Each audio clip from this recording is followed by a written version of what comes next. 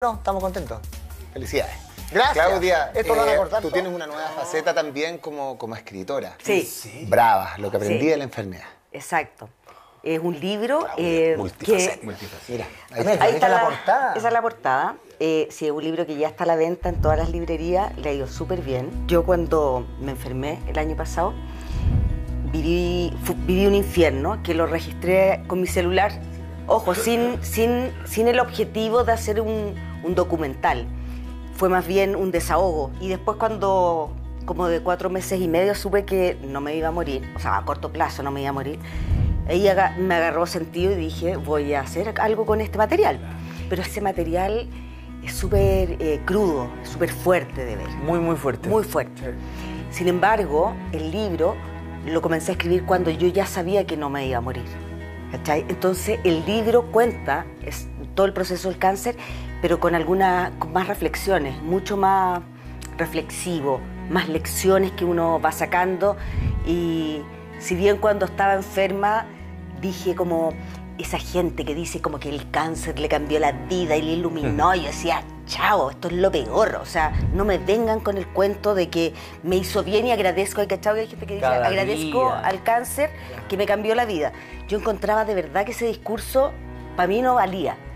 Y me tengo que tragar mis palabras porque siento que ahora vivo completamente diferente.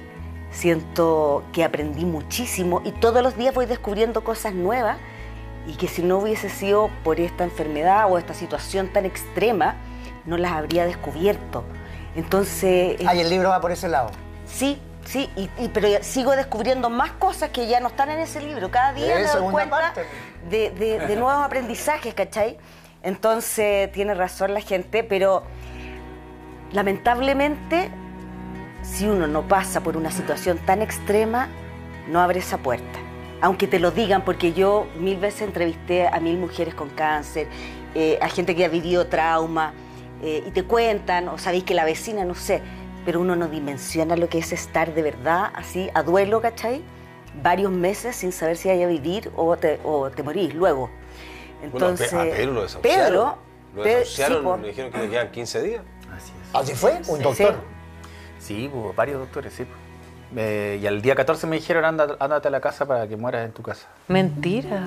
Ay, qué heavy. Y claro, y como dice Claudia, igual es un proceso largo, es como raro, como que uno lo va descubriendo con los años. Yo apenas, me, entre comillas, me salvé, eh, me demoré mucho tiempo en entender por qué me había enfermado. Porque Siempre la duda y la pregunta que ronda es, ¿por qué me pasó a esto?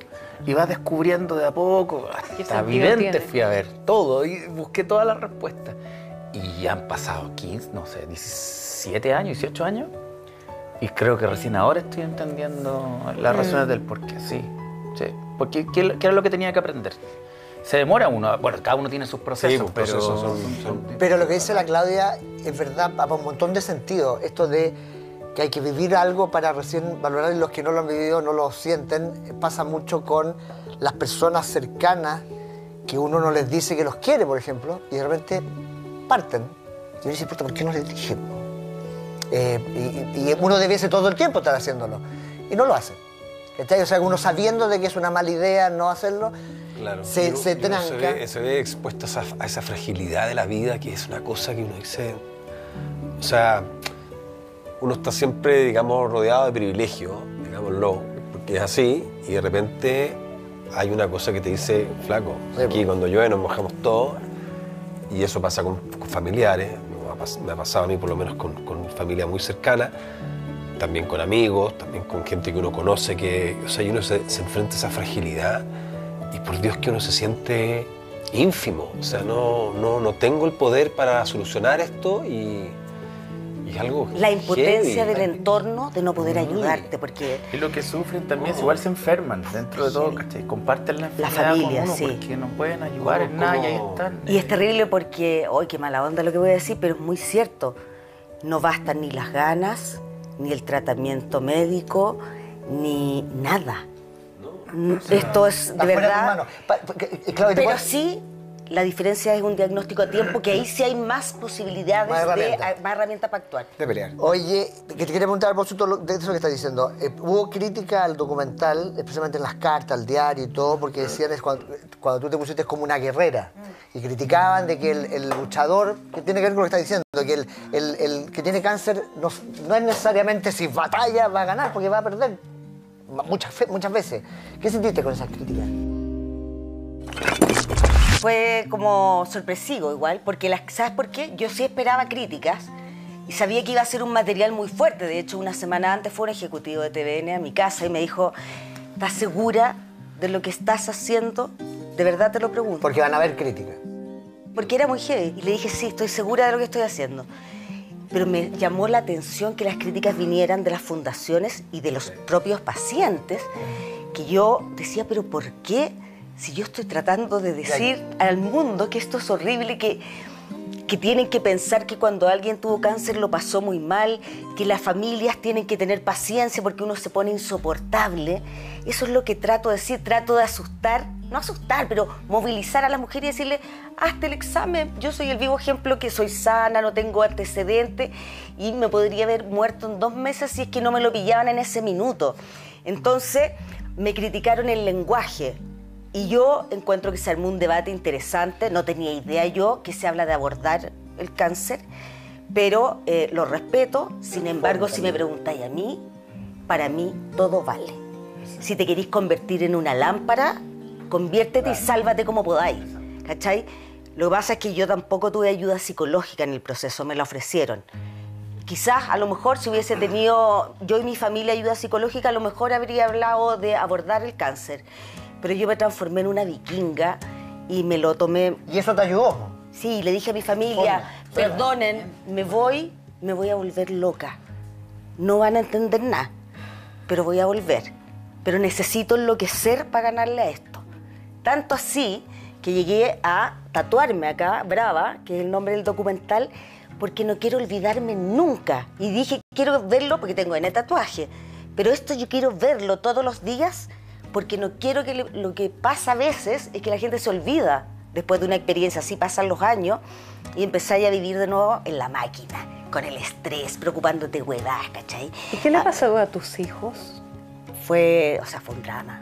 No, un drama familiar. Sí, sé que no, no tengo tantos recuerdos. eh, y, y ellos, yo pedí, le pedí a todo, le pedí al pollo, vuelve a trabajar. Y a mis hijos que son adolescentes, le dije, por favor, vuelvan a su vida, porque yo tengo para rato. O sea, no es que me voy a mejorar, si es que me mejoro luego. Tengo por lo menos un año.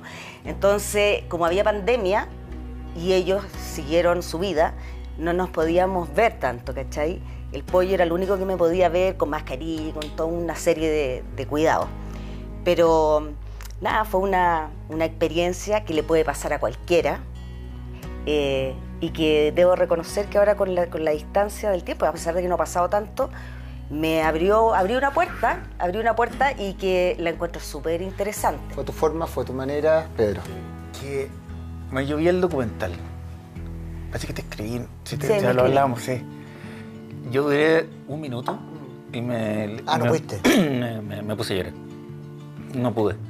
Es muy real lo que Claudia grabó. La toma cuando va en la camilla de, de ella misma, viendo sus pies y todo, todo eso que uno siente, muy duro, muy fuerte. Y le escribí a Claudia al tiro y dije, esto, no, no, no puedo seguir viendo lo que voy a seguir después porque me, me da mucha pena, me da mucha pena recordar esos momentos. Y en cuanto a la polémica, yo creo que Claudia tiene toda la razón. Eh, un paciente oncológico, y esto lo digo como, como fui paciente, pero también fui miembro de una fundación hasta hace poco, Sí, claro. eh, y tuve siete años trabajando, eh, tenemos el derecho de llamarle a la batalla como queramos, llamarle a la enfermedad como queramos, nuestro proceso de la manera que queramos. No nos pueden imponer ni psicólogos, ni psiquiatras, ni nadie cómo tienes que decirle, cómo tienes que llamarle. Si quieres que sea una batalla, es una batalla. Si quieres ser un guerrero, sea un guerrero, una guerrera. Pero no nos pueden imponer a nadie.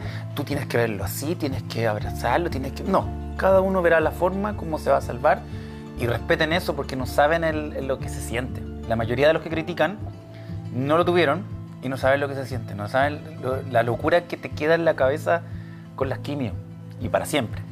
Entonces yo creo que es importante no solo centrarse en ese, en ese tipo de, de la forma que lo llamaron, ¿cómo era que querían que se llamara? Abordar. Abordar. Abordar puede ser abordar también, pero también puede ser guerrero. Pues también puede ser guerrero, también puede ser brava, también puede ser vikinga. Uno tiene el derecho porque es mi enfermedad y yo tengo el derecho de llamarla La vida como quiere ser. Sí. Claro, uno sabe cómo se salva. Eso.